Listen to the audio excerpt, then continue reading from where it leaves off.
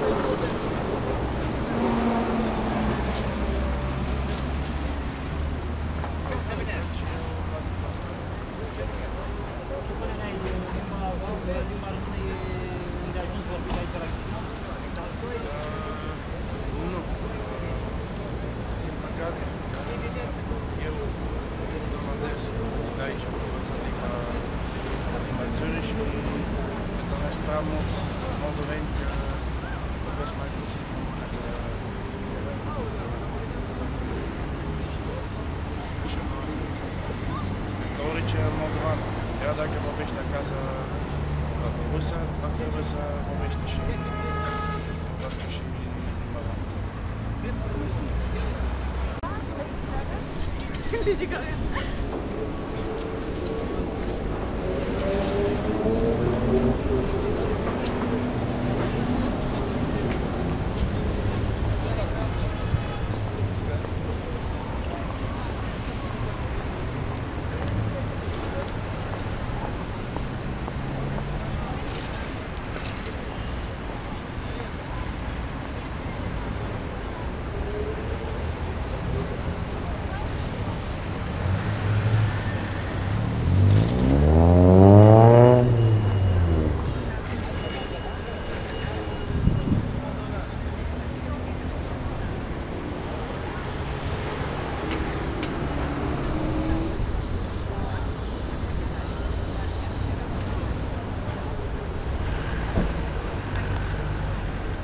Și cei din Muntenia, ca și cei din Transilvania.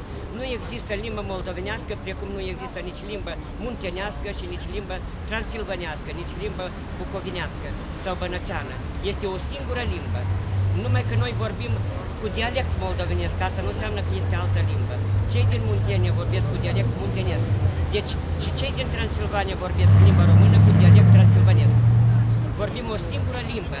Afară de asta, ar fi bine, paralel sau concomitent, lămu- de lămurit la oameni, fără rușine, fără nicio frică, că noi nu numai că vorbim limba română, ci suntem și națiune română, națiune românească, neamul românesc.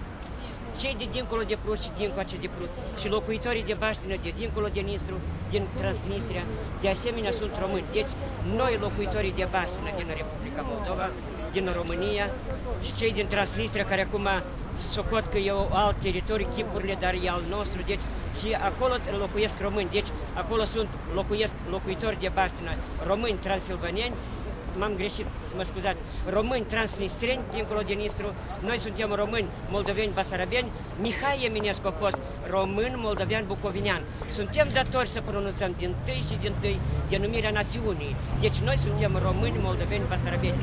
Mihai Eminescu, marele poet și publicist al tuturor românilor, a fost moldovean, bucovinean. Dar trebuie să pronunțăm, el a fost român, moldovean, bucovinean. Să ne mândrim că suntem români. Și avem de ce ne mândrim.